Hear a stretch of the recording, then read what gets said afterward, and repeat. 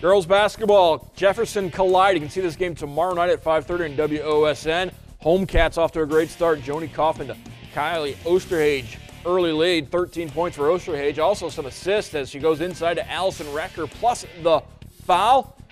Kalida keeps it going. Recker, 10 points, 10 rebounds. It's a 15-2 lead for Kalida after one. Second quarter, Jefferson's offense coming to life. Taylor Schroeder, to Devin Carter. But Kalida gets the win, 56-30, your final.